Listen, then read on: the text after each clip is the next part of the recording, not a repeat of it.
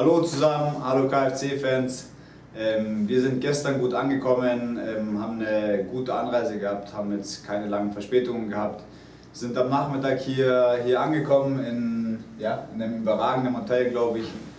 Ähm, wir fühlen uns wohl. Wir haben gestern eine Einheit gehabt, heute in der frühen Einheit und vorher dann eben ja, das, das erste Testspiel ähm, im neuen Jahr. Wir haben es ähm, positiv bestreiten können, haben 2-1 gewonnen für mich natürlich auch persönlich, ähm, ja, seit, seit drei Monaten wieder auf dem Platz zu stehen mit der Mannschaft war, war, war sehr, sehr schön.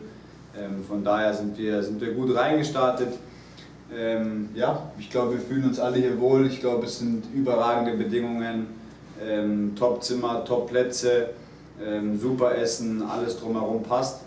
Ähm, ja, von, von letzten Jahr, glaube ich, wenn man es ein bisschen vergleicht, ist es schon echt ein Ticken, Ticken besser was wir hier jetzt, ähm, ja, was wir hier zu bieten haben.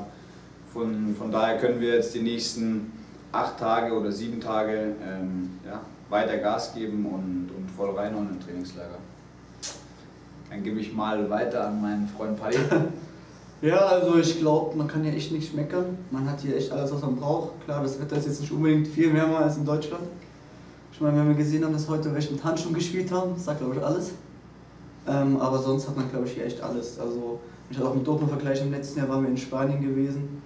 Da waren die Bedingungen zwar auch gut, aber die Trainingsplätze waren zum Beispiel hart, zu hart oder wir mussten eine halbe Stunde laufen zum Platz und so weiter. Und hier kriegt man echt alles, wie gesagt. Wir werden zum Gefahren zum Platz zum Beispiel, werden abgeholt. Ich glaube, da können wir echt nicht meckern, sind optimale Bedingungen hier. Nee, auf jeden Fall.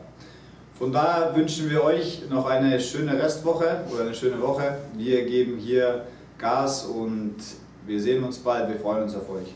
Ciao, macht's gut. Ciao, ciao.